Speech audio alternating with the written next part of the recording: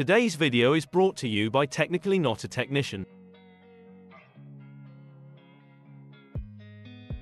In today's video we'll be making arcade 1-up Polybius cab art. If you're unfamiliar with this arcade cabinet, don't be alarmed, as this cabinet is a fun bit of pop culture and urban legend, but nothing more. This cabinet does add some fun arcade history to our lives, and arcade 1-up cabinets are a fun way to bring this urban legend to life.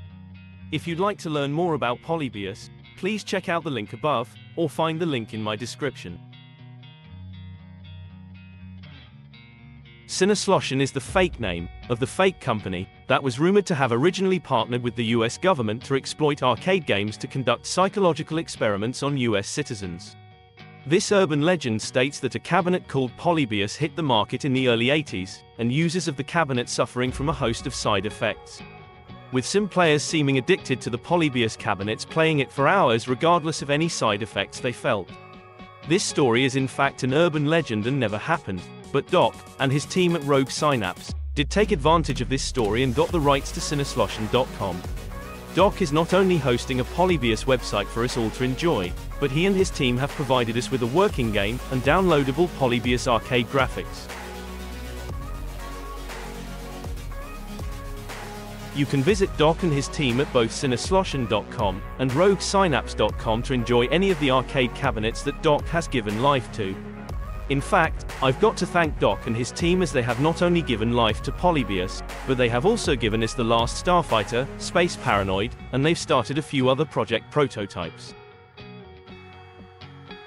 The idea for today's cab art is to base as much of my work on what is accepted as Polybius truth, or what could be considered Polybius pop fiction. If you go by the original black and white photo, then the unit must be vertical screened, with a single joystick, one button, and a coin door. As far as the color scheme we get nothing from the photo, and it doesn't look as if there is any art being used other than the marquee. And even the marquee is just a simple word, Polybius. I'm not really sure why Polybius Pop Fiction has picked the colors that are used in Polybius arcade cabinet builds, but I'll be using what seems to be popular as I want this arcade one-up to be as recognizable as possible. I will however be adding more art than in the cabinet you can see in the original photo, as I wish to dress up my bezel, and make the sides stand out in such a way that you know the cabinet isn't a stock unit. If you've seen my other video about making cab art you'll know I'm kind of new at this, and have no idea what I'm doing. I found this Gen 1 Arcade 1-Up template on Reddit. The template original is from Arcade Graphics, and I want to make sure I link to them in the description. Please be sure to check him out.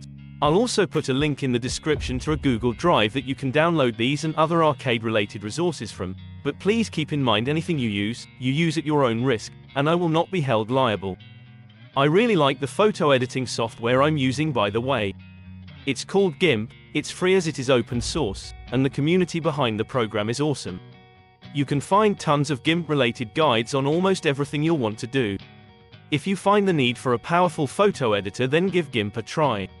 You can find a link to it in the description, and no GIMP did not pay me to say those nice things. Again, to keep with Polybius pop fiction, we'll be going simple with the art design, however we'll be using the color scheme that seems to be dominate in society's collective minds when thinking about this arcade unit. In addition to using this dominate color scheme I'm going to use a color effect known as gradient to take the blue and black color scheme I've taken from the marquee and give it some depth and change, as the gradient effect takes our blue and slowly blends it into the black, giving us a nice change from one color to the other. I'm then going to take three strips from the blue gradient effect, and I'll insert them into the solid black panel.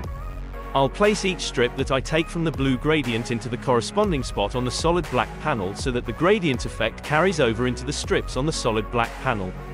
This will give us the ability to stand out a little, and not look like a standard cab, but let us keep to the simple design.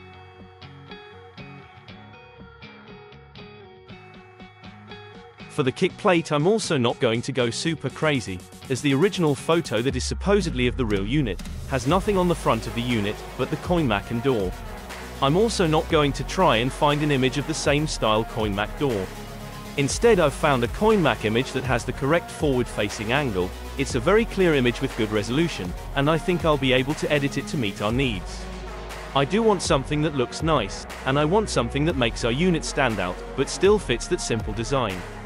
Doc and his team have also provided us with some City of Portland seals, and Portland is the city that this urban legend is from. Because of that, I want to have the 1981 City seals from Portland.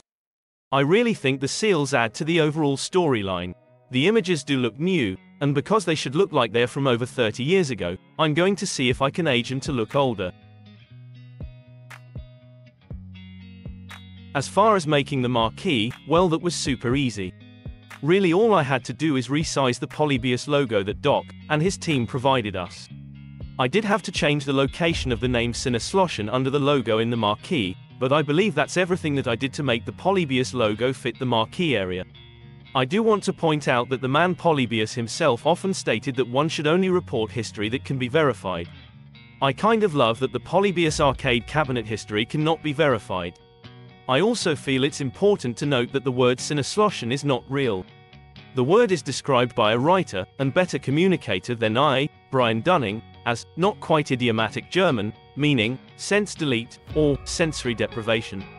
Basically, he's saying that it looks as if someone took to random German words and tried to combine them in a way that isn't how a German would do it at all. As I'm sure you figured out, I'm done with the cabinet artwork, but I figured I'd show you my thumbnail for this video too, and let you guys check out me making it. I also want to take a second and ask that you all like, comment, subscribe, and share this video.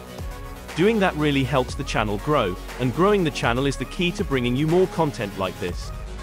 For the thumbnail I'm just going to say that they literally tell you to make it as clickbaitish as you can. Anyways enjoy the thumbnail, and I'll be back at the end of the video.